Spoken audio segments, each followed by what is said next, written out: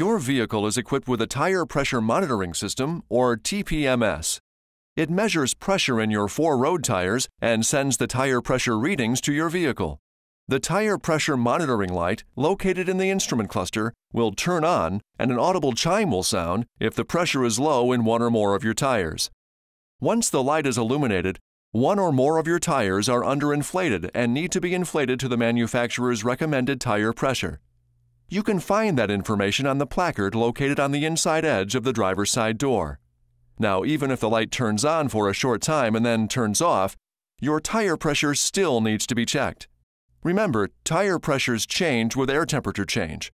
Keep this in mind when checking tire pressure inside a garage, especially in the winter.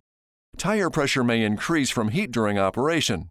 Do not reduce this normal pressure buildup or your tire pressure will be too low. Here's an important note though. Do not try to use the TPMS warning light as a tire pressure gauge as it does not automatically turn off when the proper pressure is returned to the tire. You may have to drive for a bit before the system resets itself and turns the warning light off. If driving in the city, the vehicle may need to be driven for up to 20 minutes above 15 miles per hour or 24 kilometers per hour for the system to reset. The warnings may stay on, however, until all tires have been properly inflated.